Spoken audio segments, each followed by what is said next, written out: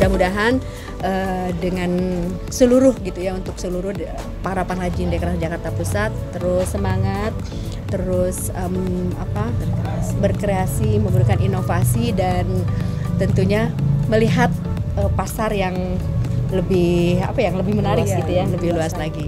Itu saja. Terima kasih.